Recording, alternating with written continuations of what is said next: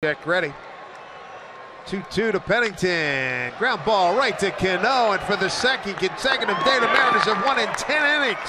Today, a 5-2 win here at the Angels. And that assures the Mariners of a winning road trip. They're now 5 and 2 with two games to play, and they're back to 500 for the first time since April 8th.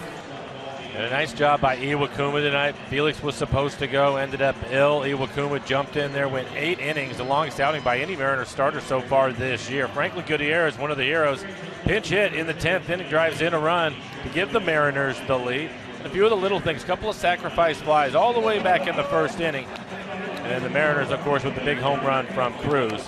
That's the difference in the ballgame. So winning road trip is assured. Mariners are back to 500.